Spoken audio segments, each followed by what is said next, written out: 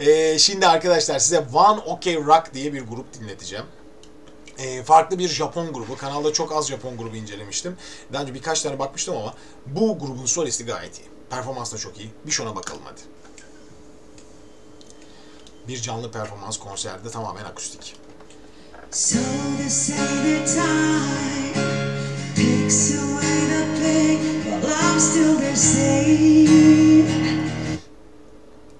Canlı performansın da başka bir keyfi var. Yani rock canlı performansının lezzeti bu işte.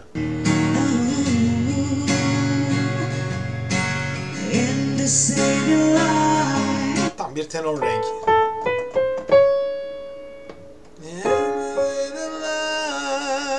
Başlangıç tonu bu parçaya.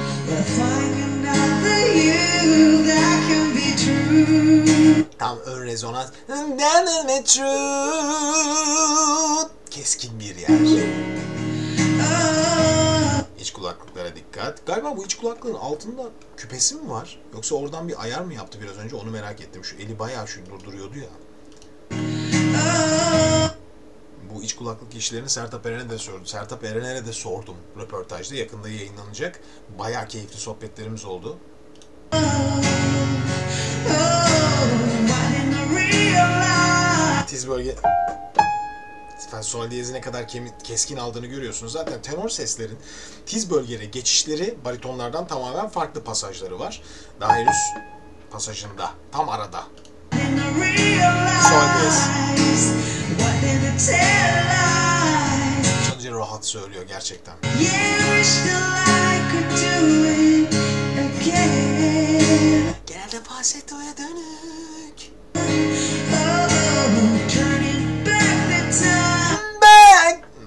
Çok keskin. Ben böyle renkleri seviyorum. Keskin sesini kullanan, net kullanan sesler. Ki şarkıcılığın en önemli özelliği arkadaşlar.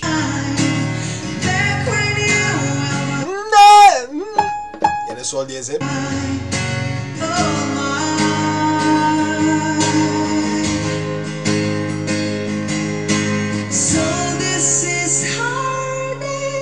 Yeah! Şahane bir kafa bestesi.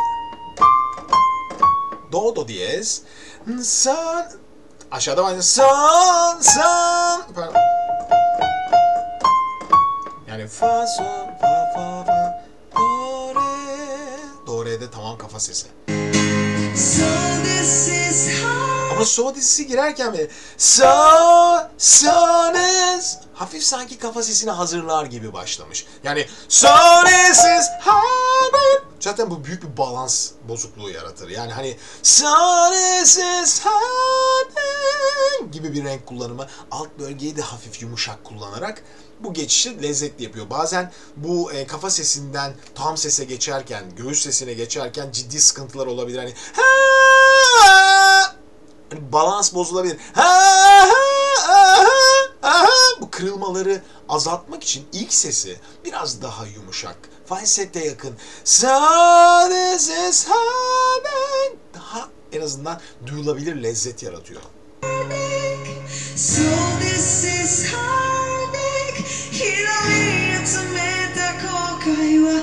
Bu işin ustalarından biri Bon Jovi'dir dünyada. Şu tarzın bence dünyada yaratıcılarından biri. Çünkü bu e, yani One Ok Rock grubunun nasıl olduğunu bilmiyorum ama hani çok detaylı bildiğim bir grup değil ama bu tarzın, bu stilin yarattığı şeyin hissi bende Bon Jovi'nin okuma stilidir.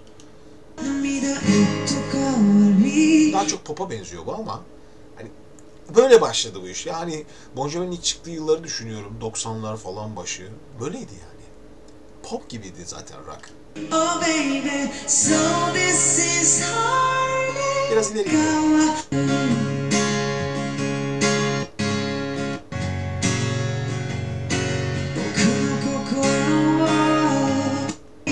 Biliyorum. Çok benzer şeyler var.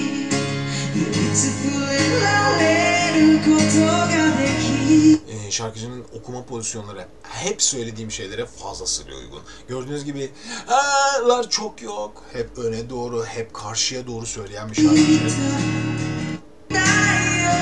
Görüyorsunuz değil mi? Özellikle tiz bölgelerde diyaframın üstüne basıp öne doğru kullanması. Sözlere de bakıyor bir yandan. Nakaratı back sesindeki keskinliği. Şimdi tiz bölgelerde bakalım tenorluğunun tam özelliklerini göreceğiz mi?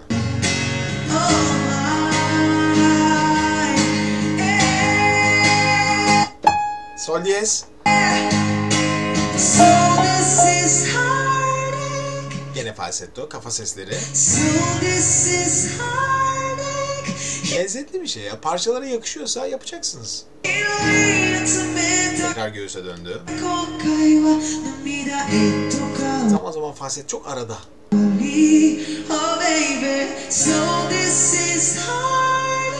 Kulaklığın rengi güzelmiş ama hafif mor. So this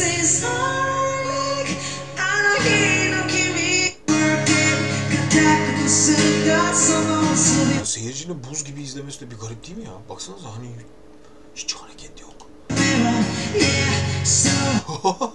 ya sen başka bir şey bu matem yaz. sen çocuklar söylüyor sanki.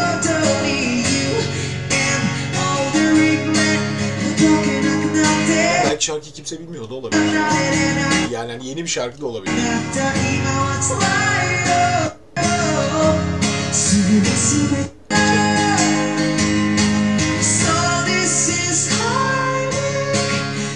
Aynı şekilde kullanmış tiz bölgelerini. Do ve do diyezin de bu solisten çıkabildiğinden eminim. So this this is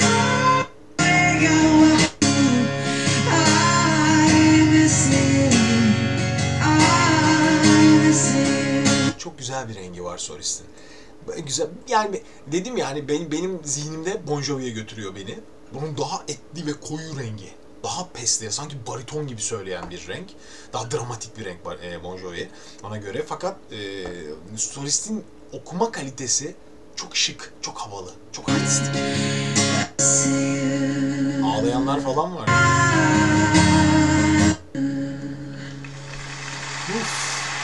Şu ses zaten çok büyüleyici gerçekten. Peki, devam edelim.